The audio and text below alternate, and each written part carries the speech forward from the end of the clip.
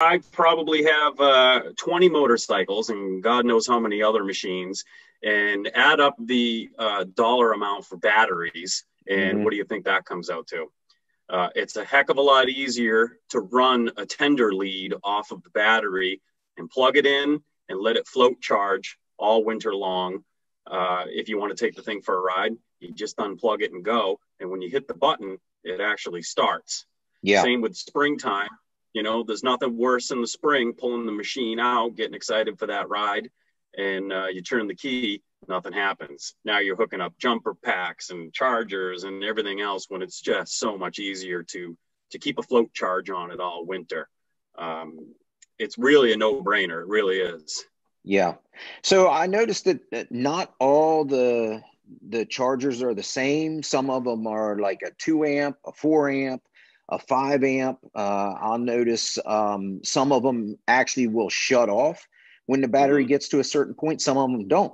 So when somebody is looking for a charger, what is something they want to look for? Because obviously they don't want it to keep charging, charging, charging, and then you know in in the long run do reverse you know they don't help it they hurt it so what's something that people need to look for when they are getting a charger like a battery tender well a tender style is the way to go uh, yeah. we're not we're not hooking up uh, a battery charger here you don't want to go take your craftsman battery charger that's on wheels roll it out of the barn from the tractor and hook it up to the atv and walk away for a month that's not yeah. the way to do it that's a battery charger what uh-huh. we're talking about here is a battery tender uh, and they, like I said, they float. Once it reaches where it wants to be, it shuts itself off, drops down, turns itself back on.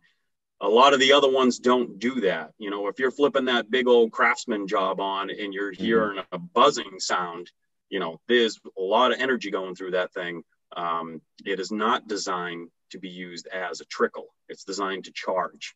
Um, you know, with the trickles and with the floats, you can use the uh, alligator clips and hook it to your battery. You can put your battery in your machine with the uh, the the tender lead hanging right out of it, and you don't have to do anything crazy. You lift the seat up or something, and there's your tender lead, and you plug the thing in.